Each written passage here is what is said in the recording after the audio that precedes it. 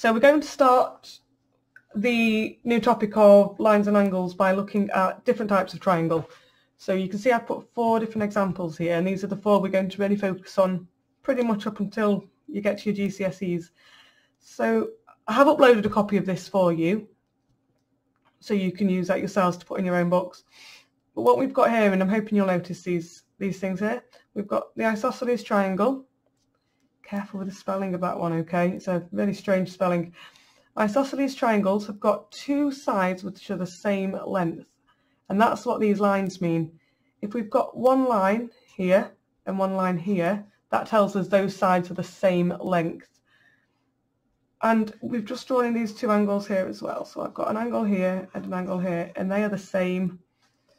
So I'm going to call them both x. Okay, so isosceles triangles have got two angles the same and two sides the same. Now don't be fooled because we really, really quite often we do see them looking like this. But sometimes you might be presented with it sideways, upside down. As long as there are two sides the same and two angles the same, it's an isosceles triangle, regardless of which way up it is. So don't be fooled into thinking that always this way up with the two equal angles at the base, because it's not always the case. Okay, equilateral triangle. This is one you're probably familiar with from primary school. It has, it's my favourite because it's just so nice and symmetrical. We've got one, two, three equal sides, all the same length, and therefore we have got, we'll call them y this time, three equal sized angles. And in the next, the next video we're going to put up, I'm going to explain to you how we can calculate these angle sizes here. Down at the bottom then we've got a right angle triangle. We don't hear about this one as much.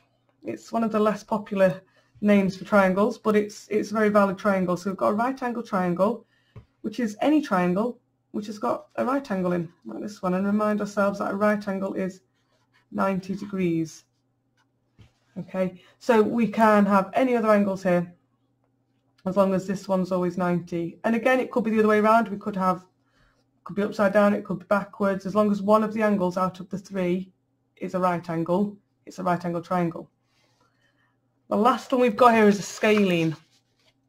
Now, on a scalene triangle, it's kind of like the leftover triangle, really. It's a triangle which doesn't fit any other definition.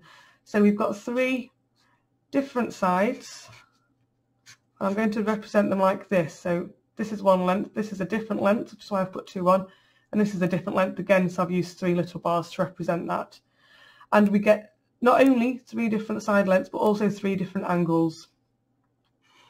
So I, I guess we could call them X, Y, and Z, just so we know that they're all different X, Y, and Z. So there are your four different types of triangle.